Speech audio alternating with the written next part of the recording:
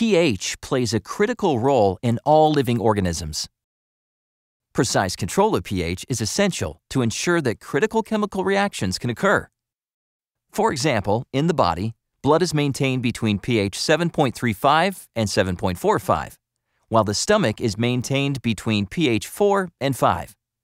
After eating, the stomach releases acid to drop the pH between 1 and 2, which activates proteins that assist in the digestion of food. The body makes constant adjustments to maintain the ideal conditions for life. When growing cells outside the body, a bioreactor is used to simulate these conditions. pH is one of the critical parameters that is monitored to maximize the yield of product generated by the reactor. Since pH is so important, let's explore what it actually measures. pH is a measure of the activity of positively charged hydrogen ions in solution. A solution with a lot of hydrogen ions is said to be acidic, while a solution with very few hydrogen ions is said to be basic or alkaline. A solution in the middle is considered to be neutral. The hydrogen ion activity of a solution is defined by a logarithmic pH scale that expresses pH in numbers from 0 to 14. Everyday items have different pHs for varying reasons. Bleach is basic. Deionized water is a neutral pH. And the carbon dioxide in beer makes it acidic.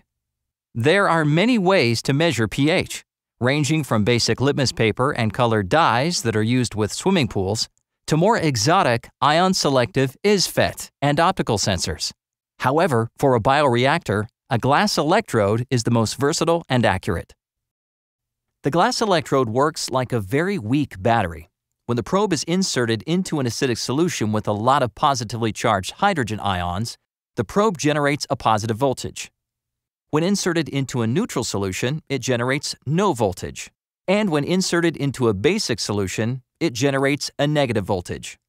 The signals generated by these sensors are extremely small, so they must be read by a high-quality voltmeter. To understand why a voltage is generated by the pH sensor, it is critical to understand what voltage is. To understand electricity, comparisons are often made to water. Electricity flows through a wire very much like water flows in a river. In these terms, voltage would be a measure of the pressure of the electricity flowing in the wire. Take as an example the water that flows in the Colorado River. The flow of the river is constant on a given day, but the pressure generated by that flowing water is not enough to turn turbines used to generate electricity. To increase water pressure, Hoover Dam was constructed to hold the water behind the dam. As water builds up on the upstream side of the dam, the pressure increases relative to the water on the downstream side. If a hole were drilled in the bottom of the dam, the water from the high energy side would flow to the low side until equilibrium was reached, where the same pressure exists on both sides. Water, just like electricity, always flows from high energy to low energy. If water collects on the downstream side of the dam, the water would flow backwards through the dam and turn the generators in the opposite direction until equilibrium was again reached on both sides. With a hole in the dam, there's no way to maintain the pressure difference between the upstream and downstream sides. Instead of a hole, let's install a pressure sensor to read the difference in pressure on either side of the dam without releasing the water. If the downstream water is held at a constant height, the pressure sensor can measure variations in the amount of water on the upstream side. In this case, the downstream is used as a constant, and the upstream is our sample measurement relative to that constant pressure. A pH sensor functions in the same way, but instead of water pressure, we are measuring the pressure of the hydrogen ions in a sample relative to a known solution of pH 7.0. In a pH sensor, the dam is replaced with a specially formulated pH-sensitive glass, known as the glass membrane. When this glass is wet, it forms a gel layer. The gel layer that is in contact with the constant solution is known as the inner gel layer, and the gel layer in contact with the sample is the outer gel layer. Hydrogen ions from the respective solutions can flow in and out of the gel layer, but other ions in the solution cannot. The result is a pH-specific difference in voltage on either side of the glass. When the concentration of the constant and sample is the same, the energy on either side is the same. A sample with a lot of hydrogen ions relative to the constant side results in a positive voltage. A sample with fewer hydrogen ions results in a negative voltage. Zoom out and we see that the special pH-sensitive glass is only found in the bulb of the sensor. The shaft of the sensor is made from standard non-conductive glass. To measure the voltage generated by the pH differential, a special metal wire is connected to a voltmeter, then inserted into the constant solution to create the measure electrode. To complete the circuit, a reference wire is inserted into the sample. The result is a very unstable measurement because the voltage generated by the reference wire is always changing due to changes in the sample. To overcome this problem, the reference wire is inserted into a second glass tube that is filled with a stable reference solution.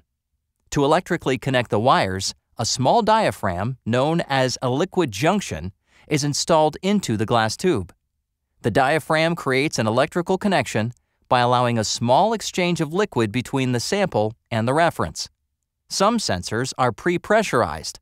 This means the reference is under pressure to ensure there is a flow of reference solution out into the sample. This minimizes the chance of contaminating the reference with sample. In the modern pH sensor, the glass measuring electrode fits inside the reference electrode, making the probe more practical for online measurement. When we take this probe and insert it into an acidic solution like pH 1, the hydrogen ion concentration in the sample is greater than the concentration inside the measure electrode. So, a positive voltage of 355 millivolts is generated. When the probe is inserted in a neutral pH 7 solution, the voltage generated by the reference and measure electrode is the same. So the meter reads a 0 millivolt difference. When the probe is inserted into a basic pH 14 solution, there are more hydrogen ions in the measure electrode than in the sample, so negative 414 millivolts is generated. The measured voltage is actually the sum of six unique voltages that are formed at the interface of all the individual components that make up the pH probe. These potentials include the outer gel layer, the glass membrane, the inner gel layer, the measure wire, the liquid junction, and the reference wire. With so many different potentials, it might seem that interpreting the pH reading would be difficult. However, only E1 is dependent on the pH of the sample. By holding the other potentials constant, the relationship between the millivolt reading and pH is linear. The design and construction of the sensor is critical to ensure the potential E2 through E6 do not drift during normal use.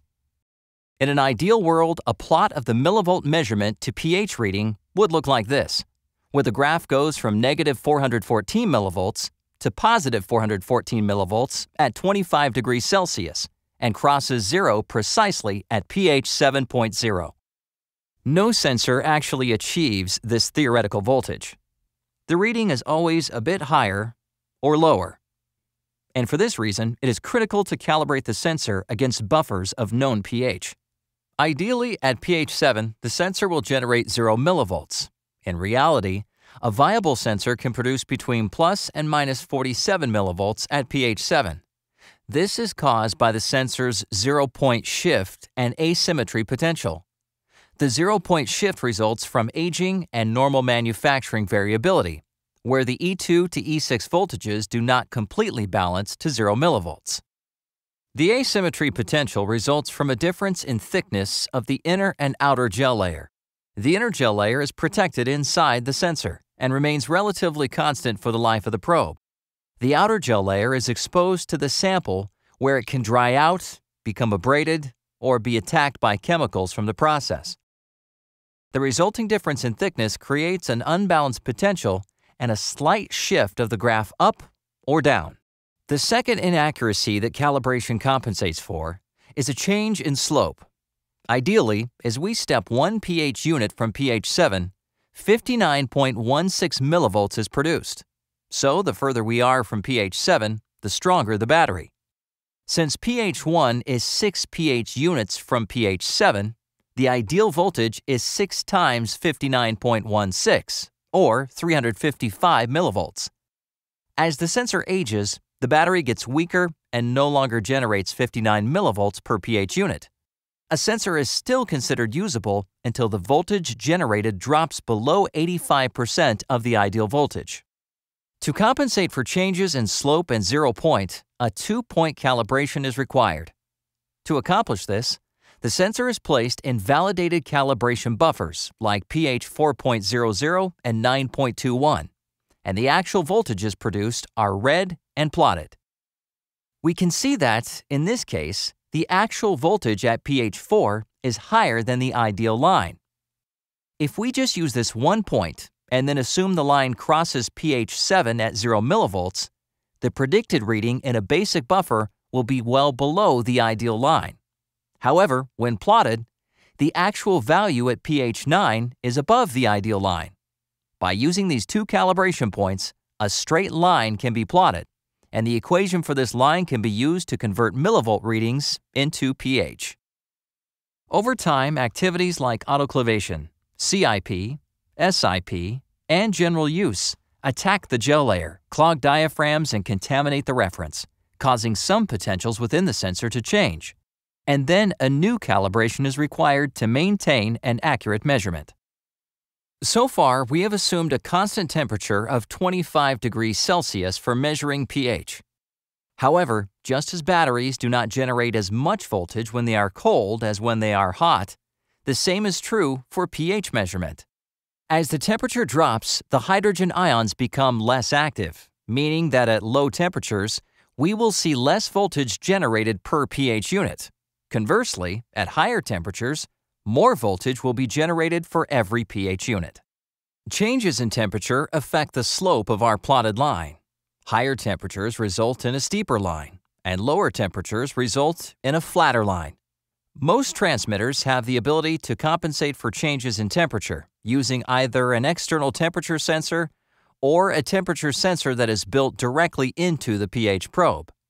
To achieve the highest accuracy possible, calibrate the sensor at the same temperature as the sample. With all variables accounted for, a glass pH sensor can achieve an accuracy of plus or minus 0.05 pH units with a precision of 0.01 pH units. This makes the glass sensor the most robust and reliable device available for the measurement of pH.